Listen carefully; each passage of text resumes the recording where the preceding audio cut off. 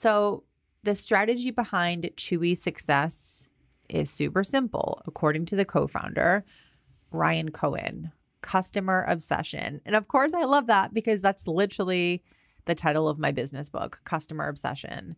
So, of course, I was like, oh my God, super exciting. But yeah, that was a strategy behind their success, customer obsession. And then the next point is really, really cool. Bring the personal rapport that you'd have with your neighborhood pet supplier to an online world and scale rapidly.